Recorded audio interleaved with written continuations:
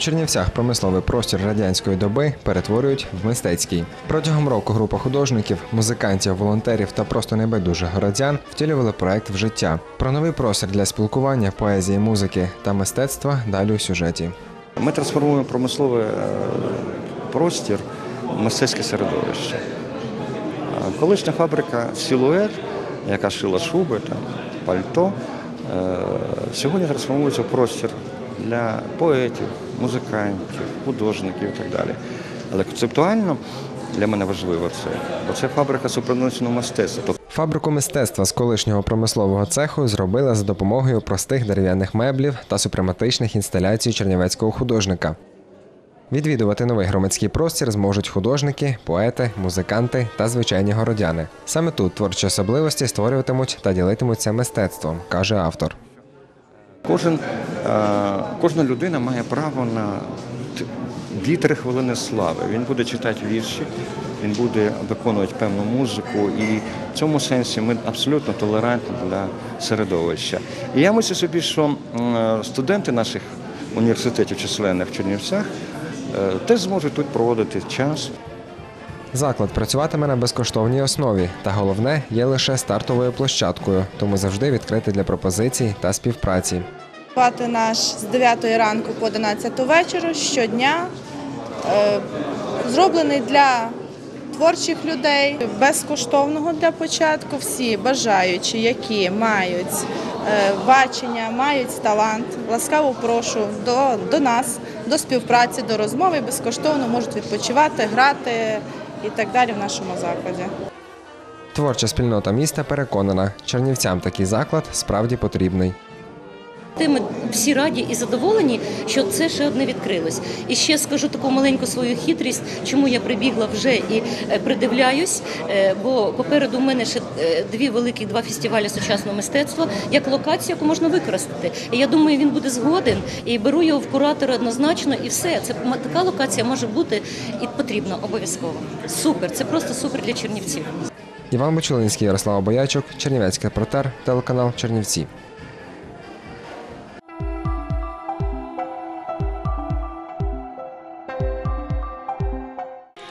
У Лопушанах Зборівського району мешканців лишилось небагато. Колись було 250 номерів, а зараз на все, все десь 45 хат таких. І то 80% наносять такі бабці, що на двох, от бачите, на двох палках ходять. Та незважаючи на свою малочисельність, село є одним із найпатріотичніших, адже саме тут з'явився перший у районі пам'ятник Небесній Сотні та героям АТО. Ініціатором зведення меморіалу став уродженець Лопушан Степан Процик. Як розповідає сам, тут будує вже протягом семи років. Мені подобається щось зробити, що людина йшла і могла перехреститися, щось задати Господа Бога. І от тут теж я одного разу був в церкві, коли почався Майдан. І так ми з священником поговорили, і мені так то все запало в душу. Але коли загинув приймак Василь, я був на похороні, така погода негарна була. Я ще взагалі задумав подобувати такий пам'ятник. Загорівшись ідеєю, Степан Григорович збирав гроші скрізь, де міг, бо встановлення пам'ятника виявилось справою недешевою. Лише допоміжні роботи тягнули більше витрат, аніж виготовлення та зведення самого обеліску. Гроші доводилось збирати у місцевих людей, депутатів, меценатів та небайдужих. Кожен вклав свою якусь лепту е, в це, кожен там по, по мірі можливості допоміг фінансово, хто, хто допоміг з довозом, хто допоміг з організацією там, коштів, хто поміг іншими речами, але кожен долучився. Хто роботу, як місцеві односельчани, тому що вони за роботу тут що робили, там робили бруківку, клали інші речі, е, господарювали тут на території, вони за це коштів не брали, вони своїми силами це все робили, свої, св- тратили свої зусилля. Відкривати пам'ятник Небесній Сотні та загиблим бійцям АТО у Лопушани приїхали учасники Революції Гідності та антитерористичної операції родом зі Зборівщини. Із села Озерянка серед інших прибув Василь Ковальський. Чоловік відслужив під час другої хвилі мобілізації, зараз на контракті у Тернопільській 44-й бригаді. не знаю, ну затягнула армія. Багато хто тікає, тут ну треба комусь йти, правильно? Військовослужбовець говорить із тремтінням у голосі. Каже, встановлення такої пам'ятки – нагадування про тих, хто заради країни попрощався з життям. То треба, бо тут ну, багато людей, хто зараз захищає Україну. є. Майже в кожному селі є такі люди. І є такі, що додому не вернулися. Із мешканців Лопушан ні на сході України, ні під час Революції Гідності не загинув ніхто. Родом звідси був Василь Приймак, який поклав життя у АТО в травні 2015 року. Проте патріотичне село пам'ятає про усіх, хто віддав своє життя за волю України. Це є та пам'ять, яка дає натхнення майбутньому поколінню і нам, щоб ми жили, щоб ми молилися, пам'ятали і особливо, щоб не було більше тих пам'ятників, але щоб був мир, спокій на нашій ненці Україні.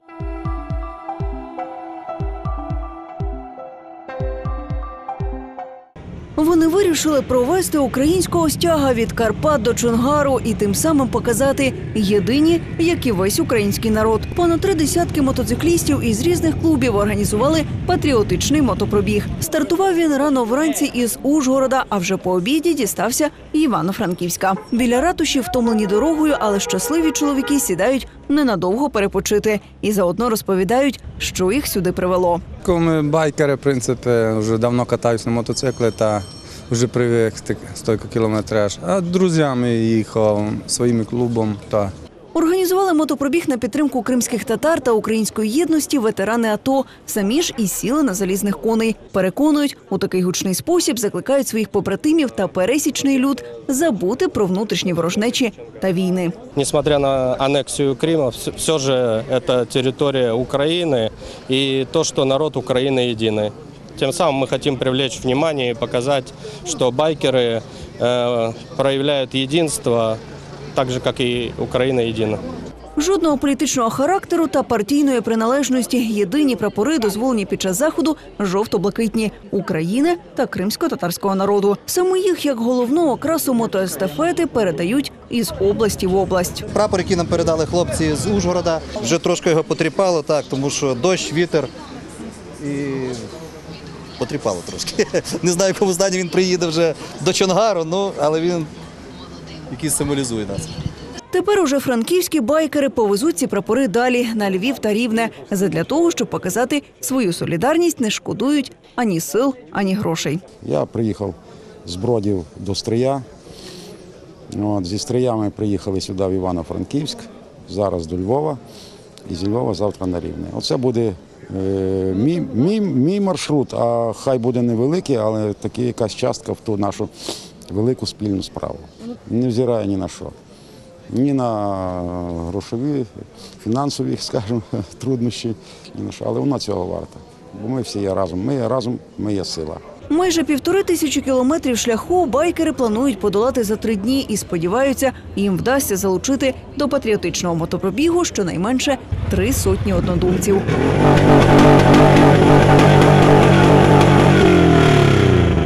Наталія Лозовик, Віталій Магалатій, телеканал 402.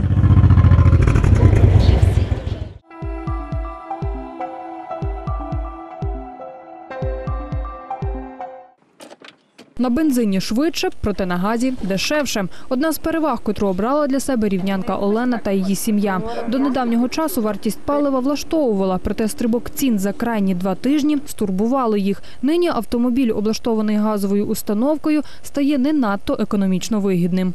Невідомо з якої причини, так як долар ніби стоїть на місці, е, коливань ніяких не було. А газ збільшили. Чи це їхні якісь е, особисті такі забаганки, чи це чимось, чи вони чимось керуються? У Рівненському антимонопольному комітеті про стрибок ціни знають та й самі шукають причину та обґрунтування здорожчання. За нашою інформацією, в середньому ціни оптові зросли ото з 18 числа десь на 10%, в середньому на 10%. Тобто така ціна 10, 10, 20, з 8,55 вона ні- ніякому чином не повинна була бути. Е, Вимоги направлені до всіх операторів 10. Е, Найближчим часом, буквально 2-3 дні, ми отримаємо від них всю інформацію, з'ясуємо монопольне становище або наявність ринкової влади кожного з них і обґрунтованість підвищення цін. Оператори на запитання про подорожчання мають одну відповідь – збільшення оптової ціни. Як приклад, на заправках Рівного ціни різняться подекуди до декількох гривень на одному літрі. В антимонопольному наголошують, ті, хто на підвищенні цін на газ незаконно отримав надприбутки, будуть покарані. Якщо буде наявне монопольне становище і буде, буде безпідставне, з'ясовано безпідстав- безпідставне підвищення цін, ми відкриває- відкриваємо справу і займаємося її розглядом.